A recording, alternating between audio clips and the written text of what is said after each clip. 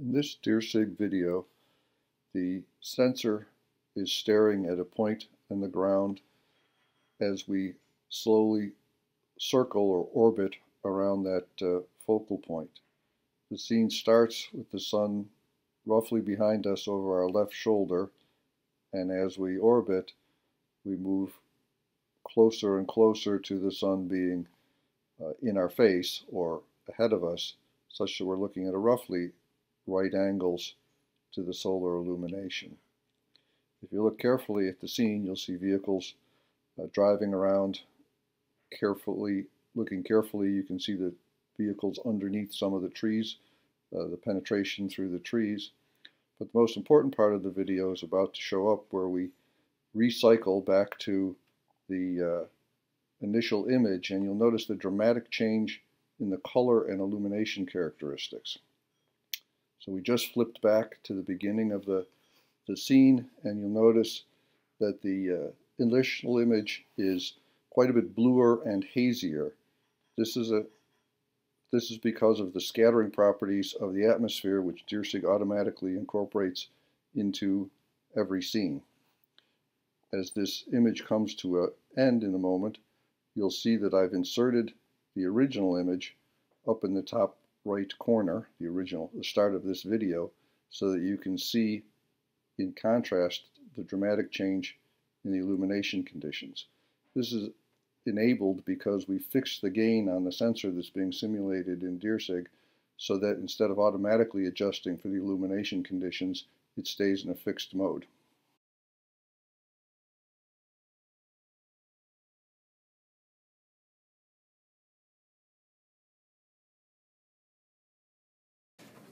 Getting back to today, John Schott is the Frederick and Anna B. Wiedemann Professor in RIT's Chester F. Carlson Center for Imaging Science. He's the founding director of the Digital Imaging and Remote Sensing Laboratory at RIT and a part of NASA's Landsat science team. Today, he'll discuss his early work at RIT that laid the cornerstone for the university's imaging science program, connecting the Rochester imaging community as well as the national community. Thank you.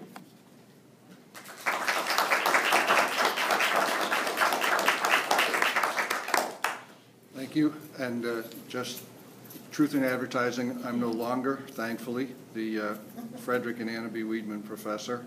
I uh, retired from the uh, teaching part of the university a year ago. So I'm now just a uh, research faculty member. And I'm going to try today to, uh, get this set up, to tell you a little bit about the, the Center for Imaging Science at at RIT. And uh, I don't know if I can. Return, I'll go do it. So I'm, I'm going to tell you a little bit about how the uh, about the Center for Imaging Science and how the Center for Imaging Science at RIT came into being and uh, influenced in many ways the evolution of the university.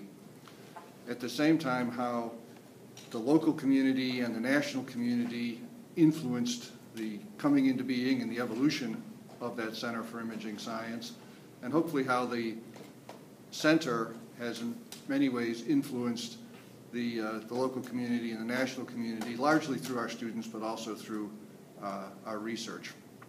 Uh, a couple of the, the key players are, uh, are sitting here, and you'll hear some more of the stories as we go along. The left-hand side is, is Willem Brouwer, who uh, helped bring the center into being, and uh, Rich Rose, who was the president of the university through most of the formative years. I'm going to talk to you mostly about the, the 80s and the 90s. I, I think the last 10 or 15 years is a little too recent to, tell, to talk about them as history. So I'm going to talk to you more about the, uh, the formative years uh, of the 80s and the 90s. And I'm going to periodically uh, steal things from some of the literature, so I'm not making all of this up. Uh, and I'm going to go back uh, a little bit in history to, to warm things up uh, with some, some data that I stole from a, a lecture that uh, Bill Shoemaker gave about the, uh, the School of Photography, because that's where the roots of imaging science are. And uh, let me start with an anecdote. This whole talk is mostly anecdotes. How did I meet Bill Shoemaker? When the university was interviewing me, I came from uh, a think tank in Buffalo. It, had spent eight or nine years doing contract research and uh, came in to talk to them about some work I was doing at the time for NASA to uh, let them take a look at me and, and vice versa. So I came in and I gave my talk, big stack of uh, transparencies or foils as we called them in those days, and that's you know sort of how you, you briefed particularly in the government. And uh, so I came in, they found me an overhead projector, and I gave my talk. And uh, a, a, group like this, except they were all fuddy-duddy professors. And uh, at the end of the talk, Bill raises his hand and he says, uh, could you write your name on the board? and, you know, I looked at him for a minute and then, you know, said, you know, the old fart, he just forgot who I was. I should go write my name on the board. So I go and I write my name on the board. And as I'm lifting up the chalk, was chalk, to, uh, to do that, I'm thinking, you know, he knows what my name is. He wants to see if I can do a chalk talk on the board because I'd given my whole talk with, with slides. And any of you who know me know my writing is absolutely atrocious. And so I carefully printed John Schott and uh, must have done it well enough that they decided to hire me. But that was my, that was my introduction to, uh, to Bill Shoemaker, who was the director of the photography school and turned out to be quite a great guy. I, I enjoyed him thoroughly over the years. We worked together for several years. So some of this early stuff I stole from the, uh, the lecture he gave. And photoscience, which is the predecessor to the imaging science program, had as its predecessor phototechnology. So starting in the 30s, we taught photographic technology at RIT. It wasn't until the 60s that we offered a baccalaureate, and it wasn't until quite a bit later, another 10 years, that we offered the master's degrees. But one of the things I want to notice here, I'm not going to read all these charts to you. You can, you can see, I've highlighted the critical stuff from the underlining, and you can read while I babble. Where did the interest in photoscience come from as we evolved it over the years. From mid-60s, we had the master's in photoscience. That was several years, by the way, before we had an MFA at RIT. So we were doing the science before we were doing the art. It was to, it was to train craftsmen in the very earliest days. But by the mid-60s, you know, you didn't need a master's degree to put coat film uh, in, the, uh, in the Kodak uh, manufacturing plants. Why were we, we doing some of that? Well, here's part of the story.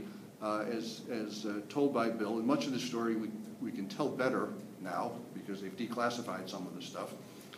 The, uh, there, was a, there was a push from the Air Force in particular to better educate students to deal with film and photography.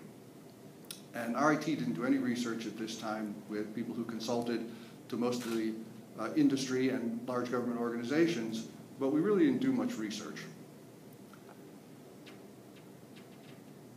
we moved out to the, the new campus. Went backwards. Oops, thank you. So we, we formed the, uh, the photoscience program in the 60s. We changed the name to Photoscience and Instrumentation, which, by the way, was the name when I joined the place. This is why the in, interest in photographic technology from the Air Force. The Air Force and the CIA in the late 50s, started a program that was called Corona. It was disguised for the world under the, uh, the Discoverer program, which was a NASA program for early rocketry testing, but periodically, actually more than periodically, often, the capsule up here would not have a monkey or whatever else NASA was testing. It would have a film camera that would, in the early days, was built, built by Itek. We'll come back to Itek periodically. Uh, but the film and the transport mechanisms and the developing and the reproduction of all that film was done here in, uh, in Rochester. And the Air Force and the CIA, who jointly ran the Corona program in that era, were very interested in having more skilled people who understood this entire technology, from the optics the film, the data processing, the image quality, and they were encouraging RIT to do more of this stuff, and so the photoscience program, uh, the Masters in Photoscience in particular, evolved out of that uh, encouragement. Let me jump ahead now to the mid 70s when I got involved in this whole process. As I mentioned, I was working in Buffalo at a, a contract research house doing remote sensing, and uh, I had convinced uh, Cornell Aeronautical Laboratories, Cal Calspan Corporation today, to send me to graduate school in Syracuse. So I was going to, to Syracuse a couple days a week to study, to work on my PhD, working in Buffalo, racing back and forth on the thruway, and would periodically stop in Rochester to see my youngest sister, who I'm going to pick on because she's here, so that's why these stories about my, my baby sister. And uh, she was dating a, uh, a fellow at the time, and I stopped one, one evening and they said, you know, we're going to a party. And so we, we went off to this party, and uh, it was all photoscience uh, students and Ron Francis, who was the head of the photoscience department. And he and I got chatting, and I told him about remote sensing, and he, all, he perked up and got very excited about uh, remote sensing. And would I talk to him when I finished my degree, blah, blah, blah. Well, we were having beers, and I forgot the whole conversation.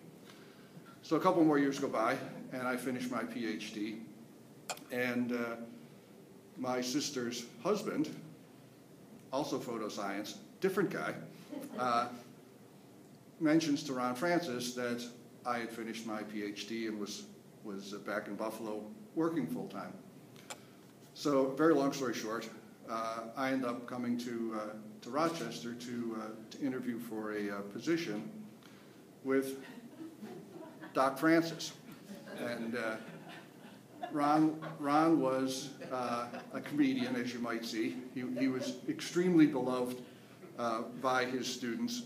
And uh, I, I interviewed, I told you the story about Bill Shoemaker, but I interviewed with, with this crew. Ron was a, a photochemist, very good photochemist, did a lot of work uh, with the, uh, the CIA on film and film issues. He also worked on the uh, Kennedy assassination films, a lot of consulting. Uh, Al Rickmers was a very good statistician, did a ton of consulting on statistics and quality control, which was very big at this time. If you wanted good imagery, you had to have good control of your film and processing system. Uh, Bill Shoemaker was a generalist in, in photographic science. Uh, John Carson was an optician.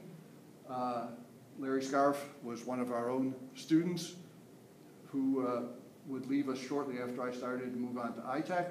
And Ed Granger was at Eastman Kodak, and he did uh, linear systems theory and was a, a master at, uh, well, everything if you asked him, but particularly a master at, uh, at image quality. I, I, knew somebody in the audience would know it. Uh, so this was the crew that I joined, and when they were interviewing me, they were talking to me about how they wanted to put together a doctoral program, how they wanted to grow research and expand their research, and how they had a lot of pressure to uh, to hire somebody in remote sensing because a lot of the people that they were dealing with, both in the local community and nationally, wanted their graduates to have more exposure to aerial and satellite imaging, which was my connection to this whole thing. By the way, there's a bias in this story about the Center of Remote Sensing. That's where I come from. You'll see why as I go through that there's a good reason for some of that bias, uh, but it, it's clearly a biased story. If one of our astronomers told us, you'd get a slightly different uh, story. So they hire me in 1980, and within about a year and a half, all these guys are gone. Now you notice the start dates are on there. Many of them had been around for a while, but they they uh, abandoned the uh, program, as far as I was concerned, having just started at this program. And Ron and Ed all, and myself were all that was left after a, uh, a year or so. And so I'm hanging out in this uh, photo science department saying, you know, if I, have I made a bad move in, uh, in moving down the, uh, the thruway 60 miles? And so we're at a point where trying to do new things. Most of these guys didn't have PhDs, by the way, which I think is part of the reason they, they moved on. Uh, they didn't see the, themselves fitting in a, a, doctoral program. And also Ron Francis could be a little hard to get along with, uh, with, uh, with some of the story so we're we're at a juncture of starting over. We're, I'm there to, to do research, to change a program that did essentially no research to start to do some research, wondering if I should stay. Well, it turns out in 1981, so within uh, actually six, eight months of me coming to the university, I won a large grant to do work for NASA on the Landsat series of, uh, of satellites. And these opportunities to be a principal investigator on a big NASA program don't come very often, so I said, you know, I'll, I'll stick it out and work this project anyways and, and see where things go. Uh, and in the process, realized that, you know, we really did need more advanced graduate students because we were doing pretty sophisticated work, and a master's student typically was there for a year or so and disappeared and weren't around long enough or got get involved enough in the process to be as useful as you might like to do state-of-the-art uh, research. I, am going to do a segue here. I left myself a note to remind me. Uh, so this is 1980. We started working on what was then the Landsat 4 program, the first of the uh, the advanced uh, technology Landsats. Within the last two weeks, I've just been notified that we've won $3 million worth of new work to work with Landsat on the current Landsat, which is 8, and to help them design uh, Landsat 9. So this is a program that's been linked to RIT for uh, decades, literally, and we're now more involved than ever with NASA on the, uh, the design and building of the, uh, the new instruments. So that was, matter of fact, it was exactly a week ago today. I was sitting on, on my computer and I got an email from this woman at the U.S. Geologic Survey telling me my contract was approved. And I got up and did the happy dance. Oops, thank you. I'm hitting the wrong buttons here. So we hired some new folks to fill in for all these, these people who left. And luckily for us, one of them was this crotchety Dutchman, Willem Brouwer. Willem was born in the Dutch East Indies. He went to Holland to get his university education, got trapped in the middle of the Second World War. His wife concealed him, his now wife, or then wife, concealed him, uh, didn't go into the uh, workforce the, Nazi occupying workforce, uh, she was awarded medals by the Queen uh, for her work in the underground. And Willem, when things settled down in Europe, finally did get his uh, doctoral degree in optics, eventually came to the US, worked at Itek, name comes up again, and eventually came to us after he had retired, so he's a, a crotchety SOB at this point, and, uh, pardon my French, uh, he, he came to work with us uh, to do optics. So he commuted. Tetchy, his lovely wife, stayed in Boston, their, their home in Lexington. And uh, Willem was just bored with being retired. So he came and, and worked with us, taught optics. Uh, is, is one of the pioneers of optics. Everybody today knows that you describe all optical propagation, propagation with matrices. Well, Willem wrote one of the first books on uh, using matrix math to do optical propagation. Well, he was a finagler and a conniver, and uh, here we are in this photo science school, and the president of the university, Rich Rose, who I mentioned, was a ex-Marine Corps general. His aide de camp was an Air Force colonel, former Air Force colonel in the intelligence side of the Air Force, and they find out that Willem's working with us and his connections to Itek, and they've been approached also by the Air Force to do more with this imaging stuff. And Willem, working with some of us, comes up with this concept of taking photoscience a major step forward and forming a national center for imaging science that will do research at the national level and utilize his knowledge and connections to folks in Washington to help spin us up. Well, these two guys in the management at the time thought, this is a pretty cool idea. You know, we, we've been hearing a lot about this stuff, and uh, maybe we ought to do this. So in the mid-80s, 1985, we formed the, uh, the Center for Image Science, which basically meant in the early days, we changed the name of the Photographic Science Department. I mean, it was, that was, that was essentially what happened. We, we pulled it out of the photo school, and so instead of reporting to the director of the photo school, we reported directly to the dean. Phil was a little unhappy about that. He wanted to report directly to the provost. Uh, and uh, as I say, he was a crotchety character, and within six months, he resigned as the director. So we spun up the program, set up the Center for Imaging Science with Willem as the director, and then he was uh, a little cranky with the management and, uh, and resigned. Hung around and kept teaching optics with us, just couldn't deal with, with the people very much. Well, most of, the, most of the people in the room are old enough to remember, but I'm going to remind you. Here we are in the 1980s. How did you do business? We looked at images on light tables. Okay. So the whole world was a piece of film on a light table. Matter of fact, this image is pretty sophisticated. It's a piece of color film on a light table, whereas an awful lot of the film at the time was black and white film on light tables. If we, that, that young man, by the way, is now not such a young man and is a major player at, East, at uh, I was going to say Eastman Kodak, but at Exelis, the government systems uh, side of, of Eastman Kodak now.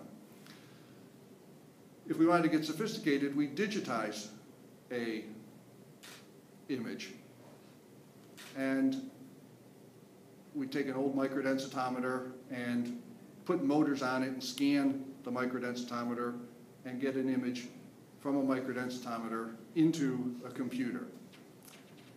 This young man is now at RIT, one of our faculty.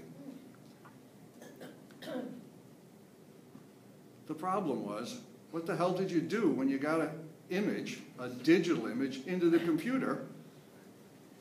In the mid 1980s, if you were lucky, your computer had a display where you could see the text that you typed in. You could not see an image. And so if you had a digital image in a computer, you would do stupid stuff like this. Print it out and color in the numbers to try and figure out where the lakes were, what, was, what you were looking at. It was an absolutely horrible time to think about digital imagery. By the way, digital imagery was not new. As early as 1972, those Landsat satellites I talked to you about, the first one launched in 1972, it downlinked digital data because it was easier to downlink cleanly bits rather than analog signals. But the first thing we did with it when we got the bits down was write it out as film because the only thing people could look at or interact with was film. So this was the era that we were living in in, these, in the mid 80s here where we knew about digital stuff, but it was really kind of hard to work with digital stuff. So I spent a bunch of the resources from the government contracts I had at the time, as well as any money I could scrounge from RIT, and bought a digital image processing system. The computers cost $20,000, $20,000, $1980, a lot of money. These digital image display systems cost $40,000. So now I got $60,000 invested in the ability to display a 512 by 512 digital image. That image is a piece of crap compared to what any of you could take a picture of me with with your, with your phones right now. Okay, so your phones are far more powerful than this. You could display them on your little displays on your, on your phones. $60,000 to get that kind of technology in the mid 80s.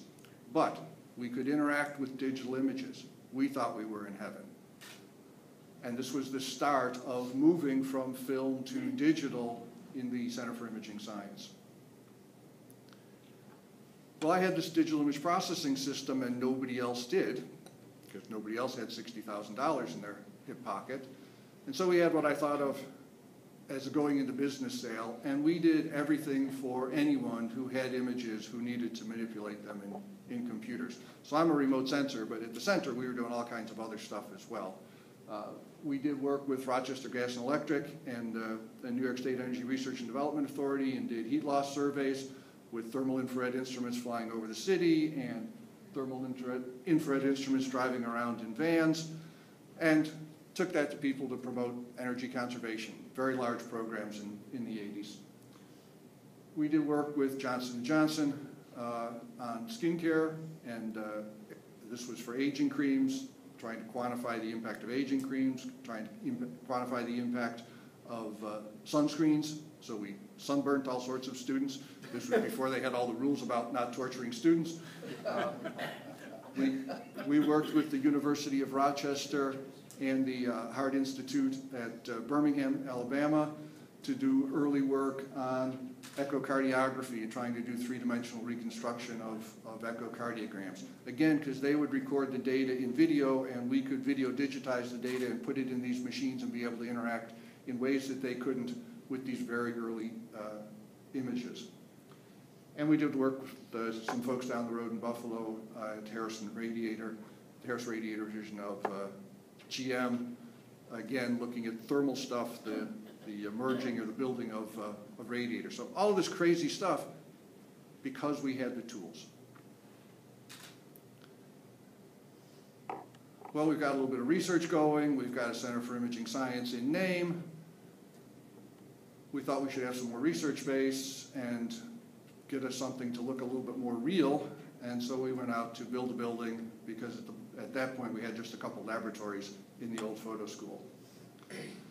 So RIT uh, managed to get a, a, grant from the federal government to build their Center for Microelectronics Imaging, or microelectronics rather, and they threw in, Al D'Amato, Senator Al D'Amato, many of you will remember him, threw into that piece of pork some extra money to build a building for the Center for Imaging Science.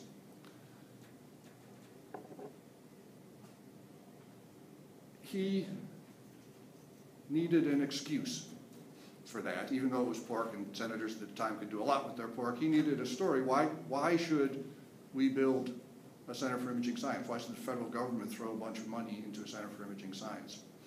Well, it turns out that Ron Reagan's Star Wars program was the talk of the nation at that point in time, and a select panel had just done a study that suggested that in order to make the Star Wars program work, the Strategic Defense Initiative, remember that by that name, it would take every optician and imaging person in the country just to make Star Wars work, which would leave nobody for Eastman Kodak, Xerox, anybody else in the business, including the defense intelligence folks who weren't in the weapons business but in the intelligence side of things, and they thought, you know, we ought to have some more capability in the country. And this is how Ale, D'Amato decided he could justify the Center for Imaging Science. So that came up with the first five and a half million dollars. We raised another three million dollars with contributions from three different Eastman Kodak divisions, from Xerox, and from ESL, that is not Eastman Savings and Loan, that's Electronic Systems Laboratory in, in uh, California, which is a, uh, an intelligence community uh, resource that became part of TRW. I want to do a quick aside on microelectronics. Uh, they got the other half of the $11 million. RIT was in the start of opening one of the nation's first microelectronics programs. We at Imaging Science were intimately involved in this because how do you make a microelectronic circuit board? It's basically photography. You take a picture, you project that picture onto a coated emulsion, you develop it, and the wires come out of the process. The microelectronics guys would kill me for that quick description, but basically, the process of manufacturing microelectronic circuits is a photographic process. It's more photographic than anything else. Well, at the time, we were the guys with the photochemists. We understood all of this kind of stuff in imaging science one of the electrical engineers, this fellow right here, Lynn Fuller, was trying to spin up this microelectronics program. Imaging science and electrical engineering jointly offered almost 50-50 the courses for this new microelectronics program in the early days. Now, after a little while, they hired their own faculty and went off and did their own thing. And people like me were delighted because every single student I produced in the mid-80s didn't go to work in the fields I trained them to work in they went to work in the microelectronics field because microelectronics was booming. And they had lots of money and they needed everybody who knew anything about the photographic process. And so 100% of our graduates nearly in the mid to late 80s went to work for the microelectronics industry until the microelectronics program spun up and they could use those graduates and our kids could go back to the industries we were we thought we were training them for. What's going on in the big world? Eastman Kodak, in this case, built the Gambit satellites, the Gambit cameras, uh, set, the cameras on the Gambit satellites, from 63 to 84. So all through this period I'm talking about, I can now say, I couldn't say uh, then, couldn't say until just a couple years ago actually, Eastman Kodak Corporation, the Government Systems Division of, of Kodak, was building these space cameras. There's lots of drive still for more and more people who understand this imaging technology end to end. 78 successful launches out of 92. If you divide that into the number of years, we were putting up one of these satellites every two and a half months. Nobody knew about it. They were dropping down these buckets of film, two per launch. Remember, we couldn't radio this stuff down. It's an incredibly different world than the world we live in today. The way you got the pictures down was you packaged up the film, you dropped the bucket, a plane flew by and picked up the bucket, snatched the parachute, and you brought the film to Rochester, developed the film, reproduced the film, sent it out to all the people who had to do the analyses. Up to two miles of film, in excess of two miles of film. You saw that kid sitting looking at the picture on the light table? Well, boy, were we excited when they motorized all the advances on those light tables because you had to spin through. I remember sitting in a, in a classified facility cranking away because I didn't have one of those nice motorized advances, cranking away through a half a mile of film to get to the picture I wanted to look at. So this was the world that we were living in at the time, just at the transition to digital, still a world that was very much uh, film and film based. So RIT's got research going on, it's got a building in the making. What about that PhD program? Well, academics are pretty stodgy at times, and people at RIT weren't very convinced that they wanted to have a doctoral program. And so they went through a whole bunch of committees. You can read some of them in the, in the uh, words here. But the critical thing in my mind was that RIT was a very strong dean uh, dominated program at the time. The president had some clout. By the way, we had a relatively new president. He just started in, in uh, 1979. And the deans ran the whole show. And we had a, a problem, a hurdle to get over. RIT had no doctoral programs. I didn't know that when they hired me. I was two, I was 28 when they or were interviewing me. I was a kid. Uh, RIT was a big name school. I was from Buffalo. Everybody knew about RIT. How could it not have a doctorate? I was here. I was working. I was an employee already when I finally figured out they weren't talking just about a doctoral program in photoscience or imaging science now. It was the first one in the university's history. They didn't have a charter. New York State did not had not granted them authority to offer PhDs. So I had to work with the, powers to be to figure out how do we get a, a PhD approved at uh, the university. So I sat with each of the deans as part of this process, and they told me endlessly, and remember I'm a kid, I was 29, 30 at this point, they told me endlessly how every, all their faculty were opposed. There wasn't a chance in hell they were, they were ever going to approve a, a PhD in, in anything, let alone imaging science. And so I naively sat and talked and listened and talked and listened. At the end, I said, I said, look me in the eye and say, will you oppose it? You know, after I told them all the good reasons we should. Will you oppose the PhD? And I got each one of them to say no, they wouldn't. They'd let their faculty do what they want, but they wouldn't oppose it. Well, the deans were all the power. And so we finally got to, uh, to Policy Council with a proposal from this dean. Dennis was one of the uh, actual supportive ones. He ended up spending a bunch of time at uh, Kodak Government Systems. Dennis worked with me to put together a proposal for, uh, to change the charter. It had nothing to do with imaging science. It was just to change the charter. RIT was governed by something then called Policy Council. Policy Council was made up of the deans, a few faculty, and a few students. So we finally got this thing in front of Policy Council in the late 80s and got them to agree, again, because the deans wouldn't say no, they didn't all say yes, but they wouldn't vote no, so they either voted yes or abstained. And all of their people from their colleges just followed suit. So we got the thing pushed forward and said, yes, RIT should have a, a doctoral program. Because clearly it was going to be imaging science whenever it went through. What did that do?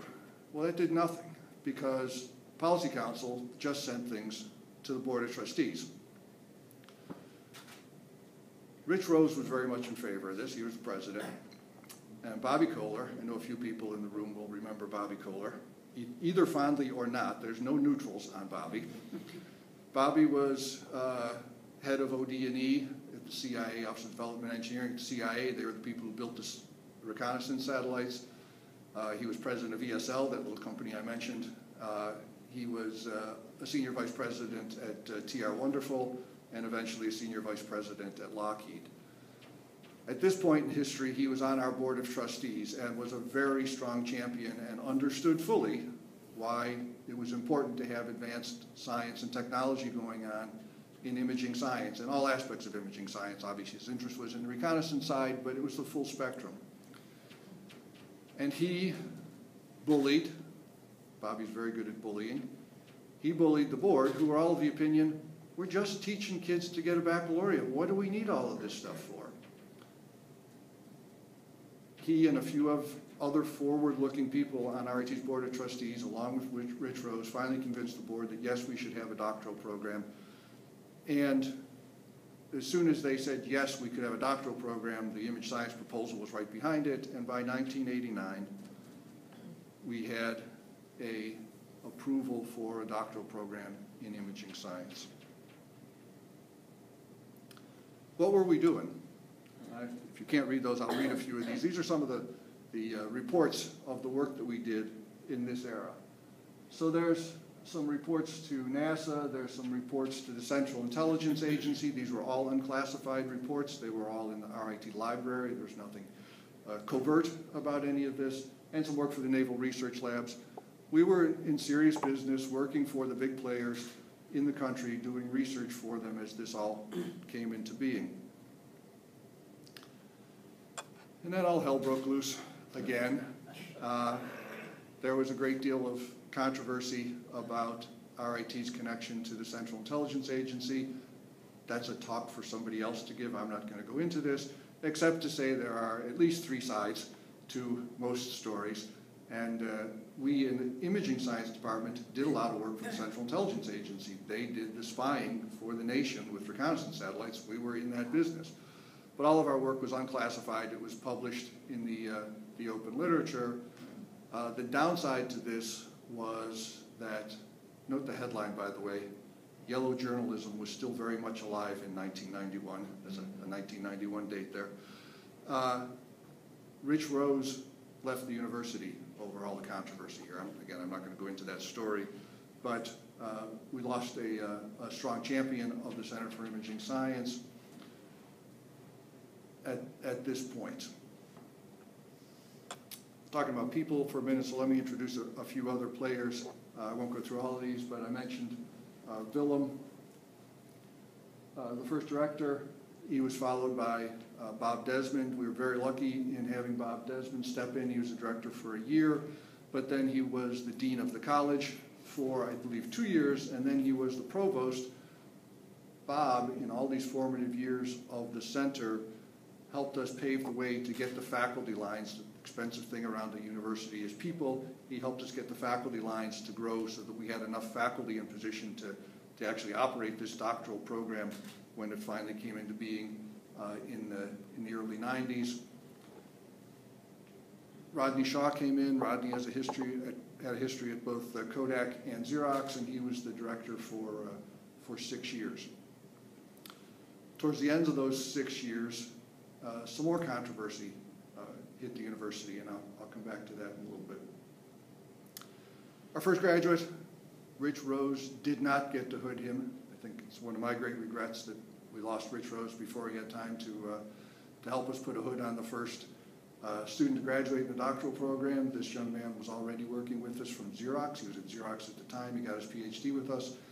He's not such a young man anymore. You can see by the, the history and the patents he's got there. He's one of Xerox's strongest uh, contributors, and we're, we're very proud of that. Wonderful kid, too. So let me move on a little bit. I'm, I'm going to wrap up fairly quickly here with the, what I call the, uh, the dark years. Uh, towards the end of, uh, of Rodney's, Rodney Shaw's term, there was a, an internecine uh, war going on within the faculty in the center. We had hired all these new faculty to build the Center for Imaging Science. Everybody didn't think the same way. Uh, Rodney was having trouble uh, controlling the, the crowd, uh, and he decided to move on. Uh, We brought in Bob Johnston. Bob was one of the deans that I mentioned. Uh, He and I had struck up a uh, a friendship because I helped him take some, what did they call them? Uh, X-ray xerographs that he had of cuneiform blocks. And these little cuneiform blocks had writing all over the top that you could read. But what they were was really a package, and inside that package was another document uh, from Babylonian times, another document, and they were just the envelope, if you will, for the letter, the record that was inside. And of course, they didn't want to chop these things up to get what was, what was inside, and so Bob had these uh, uh, X-ray xerographs, and we digitized them, enhanced them back in the early days when we had the toys. And he got intrigued with this, and over years he became more and more interested in imaging. And so when we need somebody to step in and, and run the center for a little bit, uh, he was appointed by Al Simone, who was our new president, to run the center and try and control this feud that was going on within, among the faculty in the center. He failed. Uh, a great guy, by the way, but it was, it was a tough crew, and he failed. And uh, I'd gone on sabbatical in the midst of this, came back, and the place had just torn itself asunder. Well, in, in the year that I was away, I lost two of my best uh, research staff who couldn't deal with the, uh, the turmoil, and uh, Al Simone says, I'm shutting this place down, or we're going to get somebody in to straighten you guys out. I think there were some expletives in that particular talk that Al had with us. And he said, I'm going to let you pick because we're a university and you guys get to choose. You can choose either Gary Connors, who was formerly the head of Kodak Government Systems, or you can choose Ed Przybylowicz. It's up to you. One of them is going to come in and straighten you out. Well, I knew Gary and I voted for Gary uh, just because I knew him. I didn't know Ed.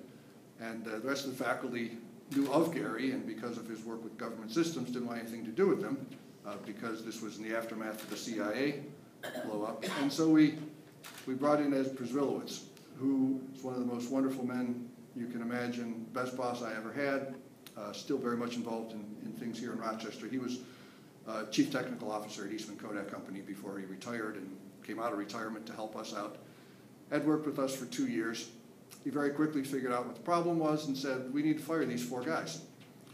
And then he learned about tenure. and why Bob Johnston had had so much trouble. You can't fire people at the university. So Ed worked for uh, two years to try and help sort things out uh, at the university, uh, became one of my best friends and uh, strongly championed getting people back together, working cohesively.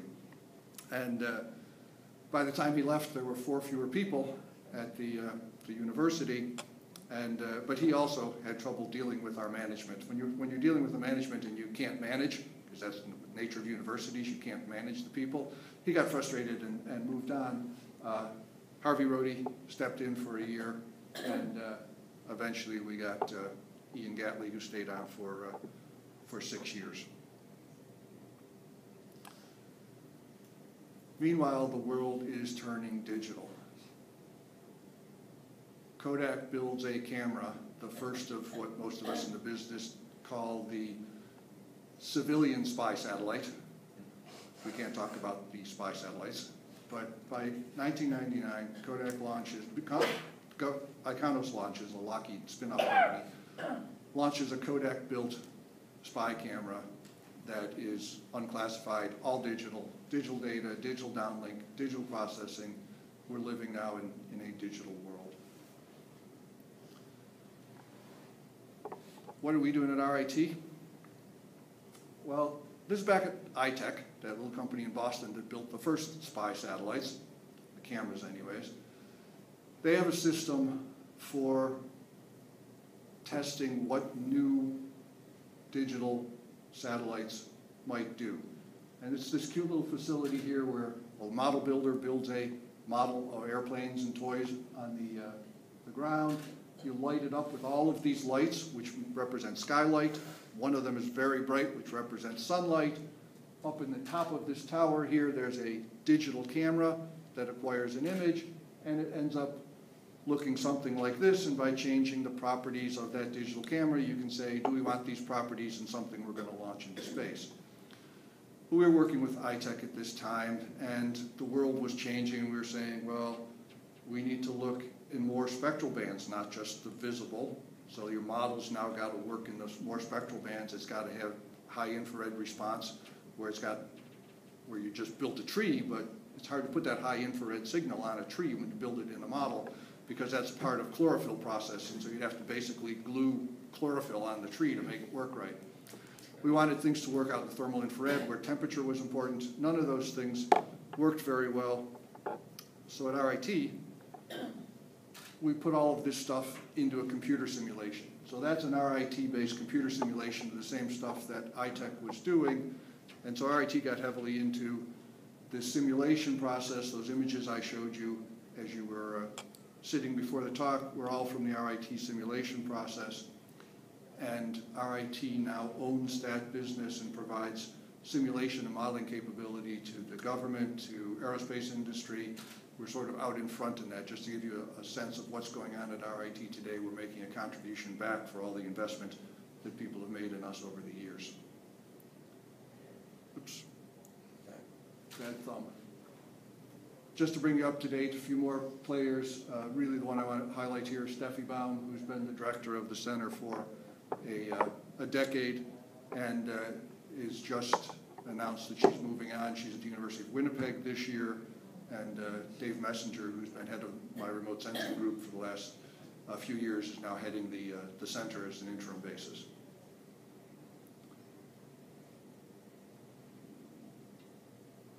To close, I've talked mostly about research. We're very much involved in pedagogy. I just didn't have time to talk about it. In particular, we are experimenting with programs where we take all of our first year undergraduates and tell them we're not going to teach you any imaging science in the classroom this year. But we want you to build an X. Every year the X is different. We say, we'll help you. You come ask us questions, we'll help you. And we challenge them as a group to build a device, not a device that exists anywhere. This is an imaging device that someone sees a need for. A recent one we did was some laryngologists at the University of Rochester were having really, they said, you know, we can never figure out whether somebody's, that pipe you throw, throw down somebody's throat, whether it's gonna just slip down or whether it's gonna be really hard.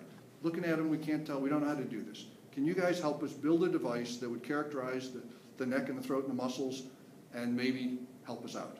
So we said to the kids, figure it out. We don't care if they fail, we don't care if they're successful. We, we, we care that they build a device that might work. Whether, the whether it solves a, a worldwide problem, we don't care. It's the exper experiential learning. So this is the kind of thing we're doing in experimenting with, uh, with pedagogy. And the reason we do that, by the way, is because they're stupid. They don't know any imaging, and we can't get them to do any imaging until they learn calculus and physics and all sorts of other tools. And so we always sort of gave them these watered-down courses their first year, and we were wasting our time and their time, and we said, this is a great experience for them to learn how to do experimental science. We do all kinds of stuff. I won't drag you through it all. Some really neat stuff that's been in the news a lot lately is a spin-off from that early archaeological stuff that I was mentioning we did with Bob Johnston. We have people who do nothing but their research in trying to read ancient documents, trying to understand what's in all sorts of ancient texts. The most recent one uh, was work trying to read the uh, ancient map that they believe Columbus would have used and would have had access to when he set off on his journeys. The kids go everywhere.